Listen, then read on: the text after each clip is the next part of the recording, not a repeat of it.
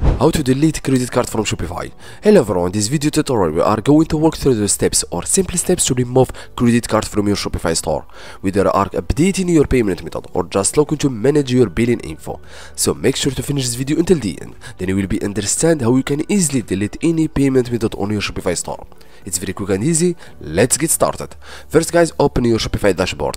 Then before starting deleting your credit card, go go directly to account on the right side on the top then hit on account. Then scroll down to manage account. Then go directly to hit on security in the left side. Then make sure scroll down to, to the bottom and make sure to remove and delete any devices that you are connected with your shopify store. Then after deleting your devices just go back and open your shopify dashboard then I will show you how you can easily delete your uh, credit card or debit card on Shopify store then go directly on the bottom and hit on settings in the left. Then scroll down to billing section in the left side.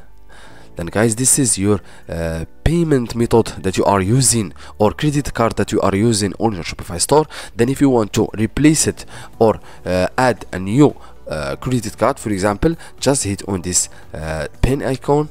Then go to the three dots then hit on replace. If you want to change it and replace it with another debit card or credit card or if you want to add a payment method like paypal just hit on this plus icon then you can easily add your paypal account. Then if you don't want to, to use this credit card or any payment method just go back and hit on plan section. Then first guys you need to deactivate your account. Then you will not be able to uh, then then guys make sure to deactivate your store. Then automatically any credit card that you are using on this shopify store it will be deleted and removed successfully. So guys go back and open and so guys go back and hit on deactivate store.